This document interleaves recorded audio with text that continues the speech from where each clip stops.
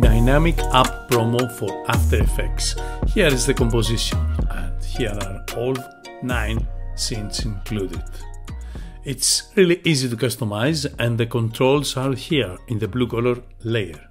From here you can adjust many details like the dynamic island.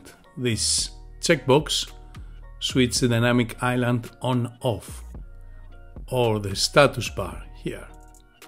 There is an option to change color in the status bar. But of course you can switch it off as well.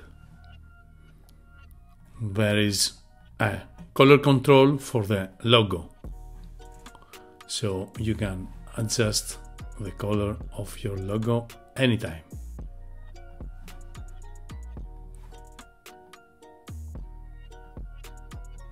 The red color layers are the placeholders, so by selecting the red color layer you can select and place your own logo instead of the Envato logo, which is by default. Using the blue color layer you can adjust the text colors as well. The scenes are really easy to use. Selecting the red color layer you can place your own image just above this red color layer. That reminds you that the structure is identical for all placeholders and all scenes. So place your image just above this red color layer.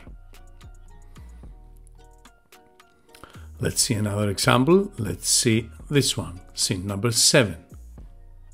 The placeholders 1, 2, 3 are inside here. So placeholder number one, just above this red color layer placeholder.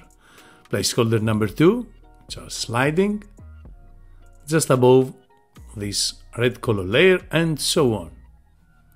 When you reach the end, you can edit the text, which is editable right here. Position it and you can use these two placeholders for the markets.